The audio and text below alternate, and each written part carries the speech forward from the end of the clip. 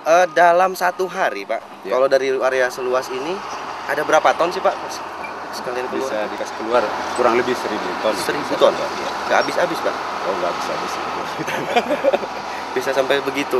Pakai pakai truk-truk yang berapa ton? sih? Eh, truk yang muatan minimal 21 ton. 21. Oke, saya mungkin nanya ke sini nih. Nah, yang membedakan membedakan eh, dari satu pocket yang sini dan mungkin dari tempat lokasi penggalian yang lain apa sih, Mas?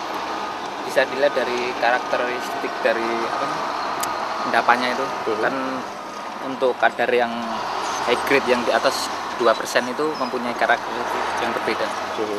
Untuk yang di atas 2% itu cenderung berminyak merah kemerah-merahan gitu. Dan